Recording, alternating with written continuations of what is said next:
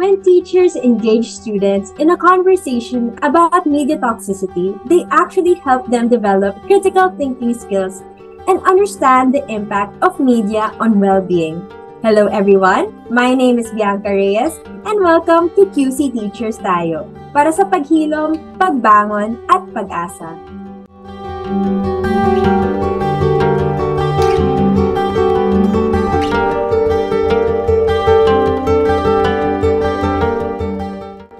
parents lament that children consume media in various ways that can be harmful, such as excessive screen time, exposure to inappropriate content, cyberbullying through social media, or falling for fake news. When people compare themselves to unrealistic standards portrayed in the media, the risk of a mental health crisis can develop. For this reason, the Miriam College Center for Peace Education and the De- Department of Psychology bring you this webinar entitled Navigating the Digital Deluge Empowering Filipino Educators to Thrive in a Media Driven World. Allow me to introduce our speaker for today. Maria Margarita Alvina Acosta, PhD, is currently the Director for Alumni Engagement at Miriam College. Prior to being appointed director, she was the college dean in the higher education unit in MC. She also served as the dean of the College of Arts, Sciences, and was the chairperson of the Department of Communication in the same institution. She is a recipient of Miriam College's President's Award for Teaching Excellence in 2008. In 2022, she was given the Amazing Alumni Teacher Award by the Maryknoll Miriam College Alumni Association. Her areas of specialization are child and family studies, gender and communication, and communication research. As a child and family expert, Dr. Acosta has made it her advocacy to reach out to Filipino families regarding responsible parenting and building strong families through positive communication. Hi, Dr. Marge. Hello there, Bianca. How are you today? I'm very fine, thank you. So we are all excited for your talk. Could you uh, let us know about your objectives? Sure. There are three objectives in today's session. And these are number one, to equip educators and guidance counselors with practical strategies to recognize and mitigate media toxicity's impact on their mental health and well being.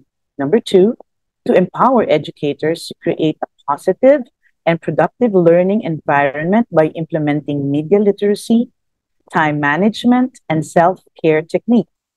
And number three, to encourage educators to pass on these skills to their students promoting media literacy and balanced digital engagement for healthier, more harmonious family and intergenerational relationships.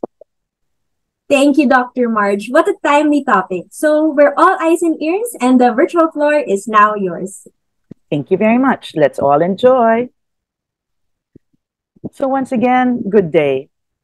Welcome to this webinar titled Navigating the Digital Deluge empowering Filipino educators to thrive in a media driven world. The topic of protecting oneself from media toxicity is relevant and appropriate. It is important for educators to be aware of the impact of media on their well being and learn strategies to manage and mitigate any negative effects. This webinar can help teachers maintain their mental and emotional health while navigating the modern media landscape and also equip them to guide their students in making informed and responsible media choices. In this digital age, educators and guidance counselors face the challenge of media toxicity, which can negatively affect their well being and their ability to support students. Research shows the link between media toxicity and educator stress in the Philippines. This session aims to address this issue and empower educators to enhance both their personal and professional lives. Allow me to share some situationers. On digital deluge, in the context of the 2022 Philippine elections, this period could have been a digital deluge with an influx of information, opinions, and news circulating on various online platforms, making it challenging for individuals to sift through and discern accurate information. On media-driven world. In the current media-driven world, the digital deluge is evident through the constant stream of content consumption via online streaming platforms, social media, and news websites, shaping public opinions and trends in real time. During the COVID 19 pandemic, the media driven world played a crucial role in disseminating information, updates, and guidelines. News articles, social media posts, and online discussions became a primary source for people to stay informed about the virus, its impact, and preventive measures, highlighting how our perception and understanding of the pandemic were heavily influenced by the continuous flow of media content. On media toxicity, this is a term that refers to the harmful effects of exposure to online content that is abusive, hateful, violent, or misleading. Media toxicity can affect the mental and physical health of individuals and groups, as well as the social and political stability of society. An example is the spread of fake news suggesting unverified treatments of cures for the virus, Misleading information on social media platforms contributed to public confusion and potential harm as individuals sought unproven remedies based on such false claims. From the aforementioned situationers, the term navigating is relevant for educators who are overwhelmed because it implies the need for a strategic and informed approach in handling the vast amount of digital information. Educators must navigate through the sea of contents to find reliable resources, discern accurate information from misinformation, and guide their students effectively in the digital landscape, ensuring balanced and well informed educational experience. By navigating through the vast information landscape, they can discern reliable sources, empowering both themselves and their students. This empowerment is essential for fostering an environment where students not only survive but thrive, ensuring positive and enriching educational experience despite the challenges posed by the overwhelming amount of digital content. Social media news and digital content are prevalent, leading to a constant flow of information. This can be overwhelming, affecting one's overall well being. Let us have a quick look at the Philippine media landscape. The charts, figures, and reports that you will be seeing are contents fe fe featured on datareportal.com and is the intellectual property of the company Kepios Private Limited. The Philippines is home to 116.5 million Filipinos, with 48.2% living in urban areas. The report as of January 2023 says that a total of 168.3 million cellular mobile connections were active in the Philippines, with this figure equivalent to 144.5% of the total population. Note that many people around the world make use of more than one mobile connection. For example, they might have one connection for personal use and another one for work. So it's not unusual for mobile connection figures to significantly exceed figures for total population. There were 85.16 million internet users in the Philippines when internet penetration stood at 73.1% and that there were 84.45 million social media users in the early part of 2023, equating to 72.5% of the total population. Of the 85.16 million Filipinos aged 16 to 64 years old who have access to the internet, this slide shows the percentage of device ownership. In summary, 99.1% have mobile phones, more owning smartphones than feature phones.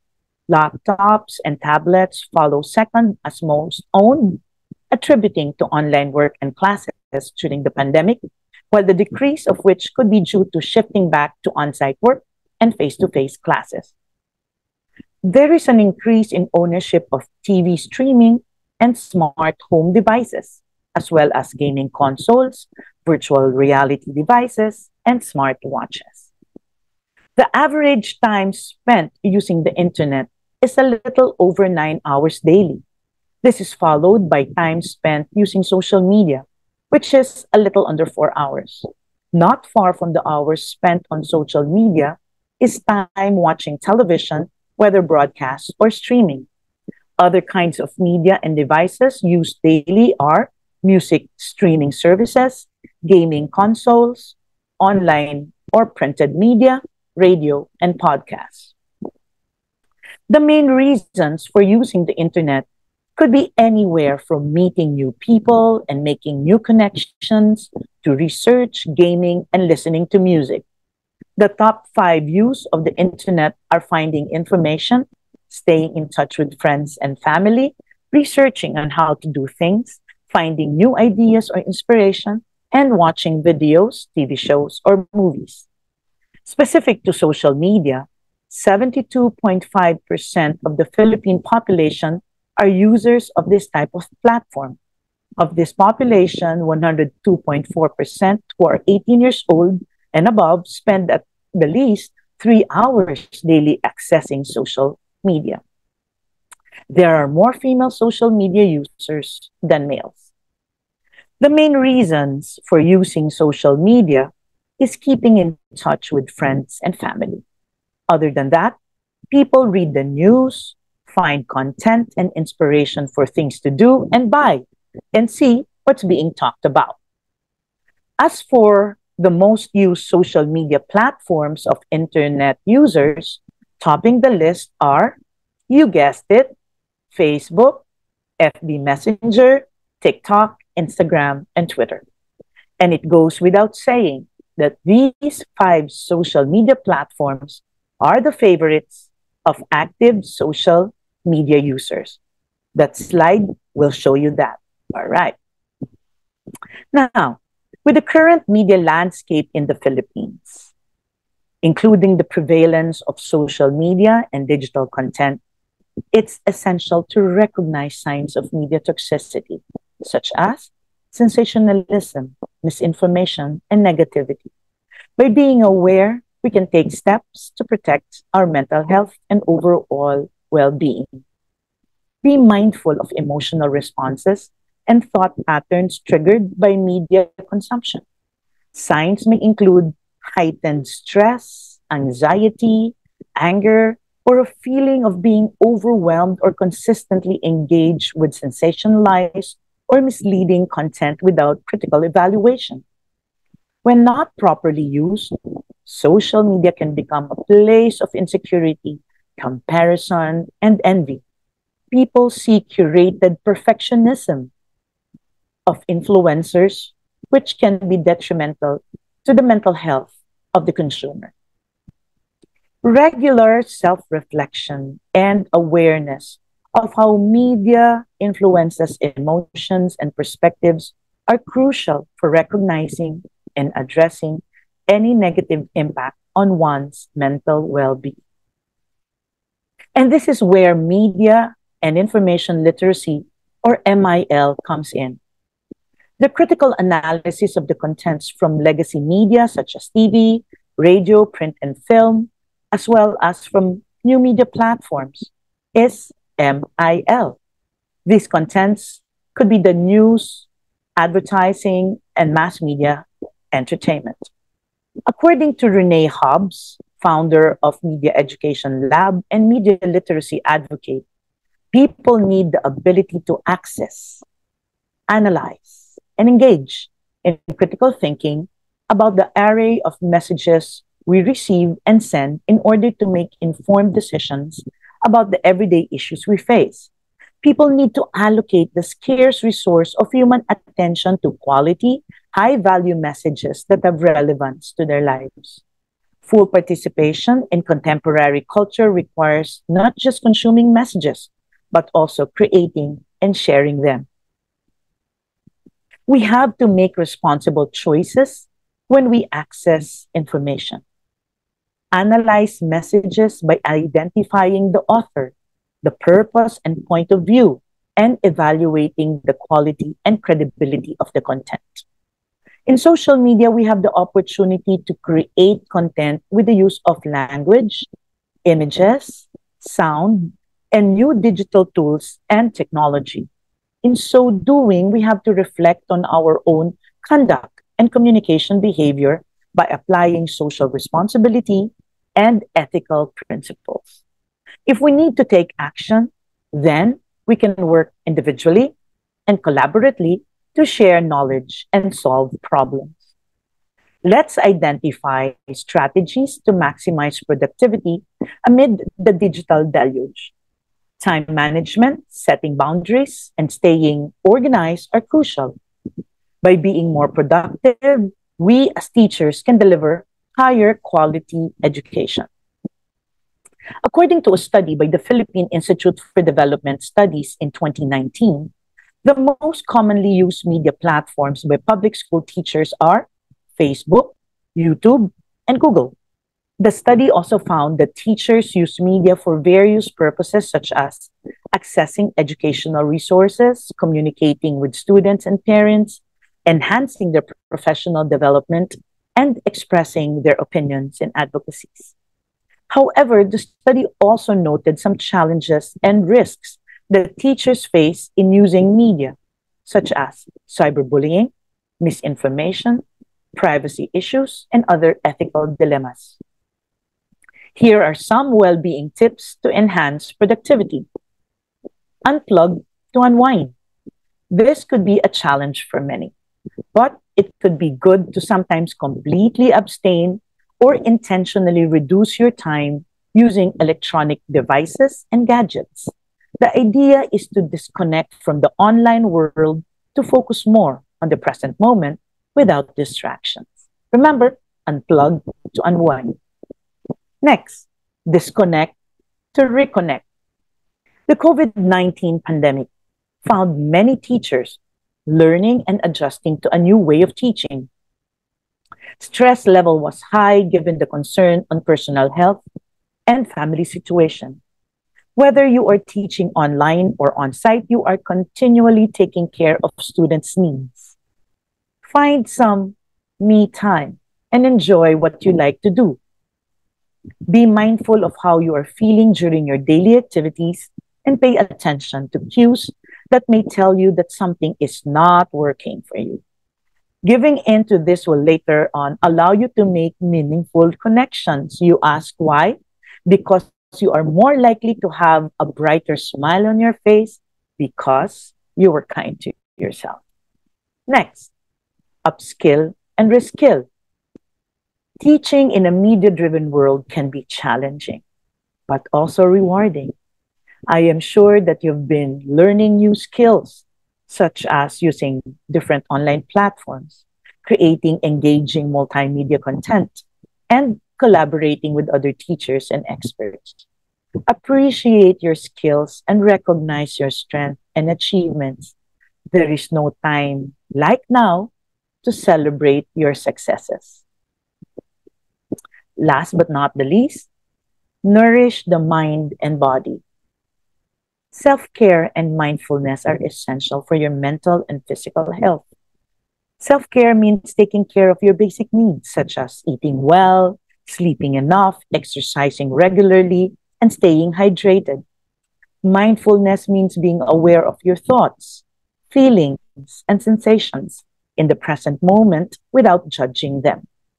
Mindfulness can help you cope with stress, anxiety and negative emotions, and improve your focus, concentration, and mood.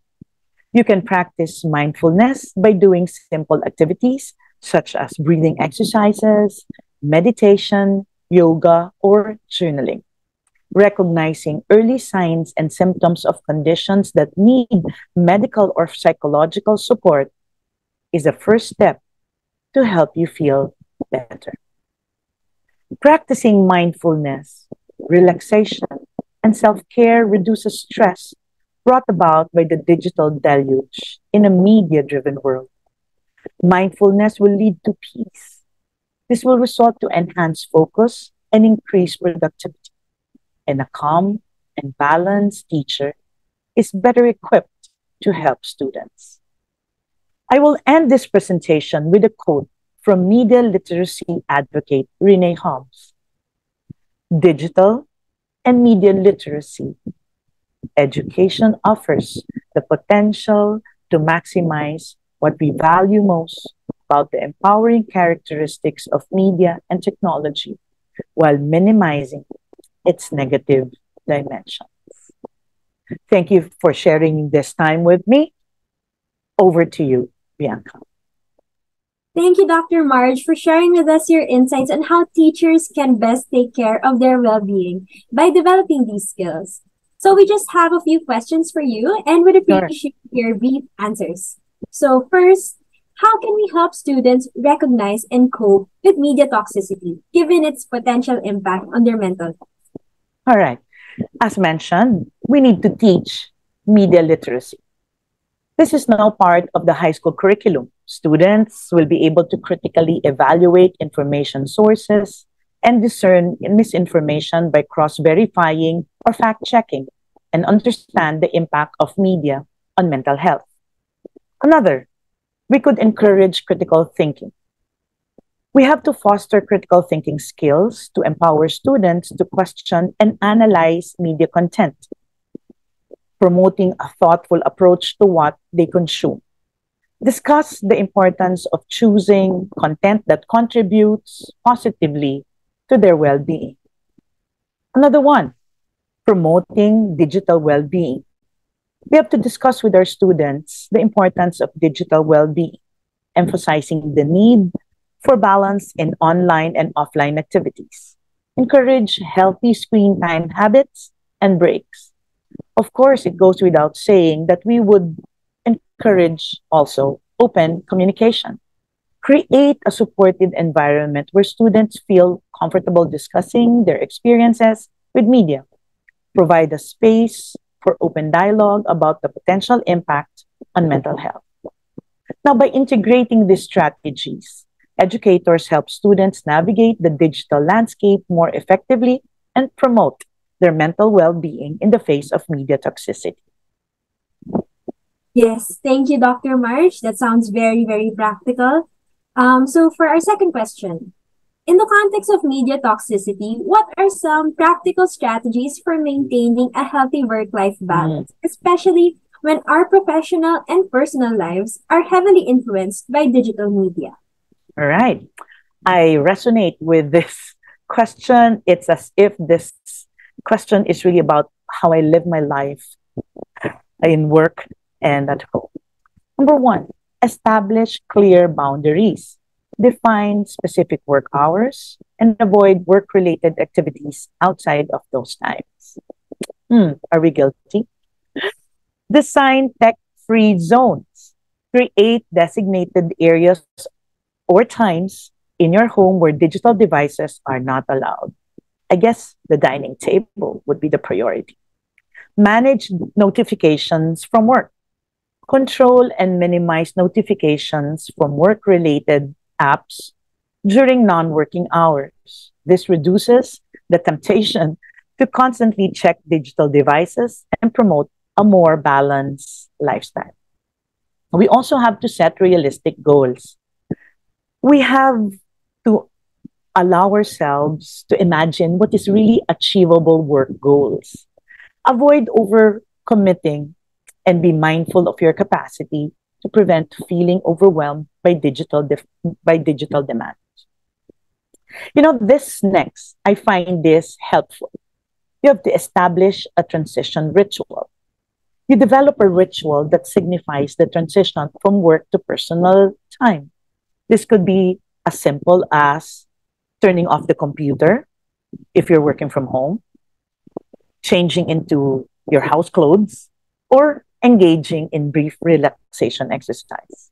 By incorporating these practical strategies, individuals can mitigate the impact of media toxicity on their work life balance, fostering a healthier environment of digital media into their professional and personal lives.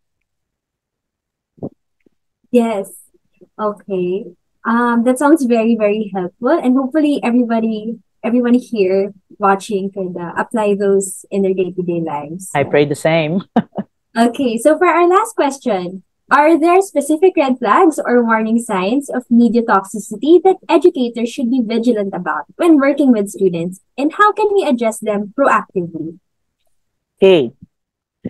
All right. Screen time is really excessive. I think um, work and even entertainment, anything that's uh, on demand, because we have that that that capacity now. No, there's really just excessive screen time. So we want to find out and we want to observe if students consistently spend excessive amounts of time on digital devices because this will really it's not anymore a question of whether they will be exposed to media toxicity they are really now at this point exposed to media toxicity so let's watch out let's find out let's talk to the parents let's also ask our students how many hours do they spend on digital devices.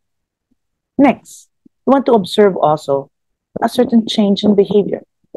Sudden changes in behavior, such as increased irritability, anxiety, or withdrawal, could be linked to negative media experiences. Now, how, what can the teachers do?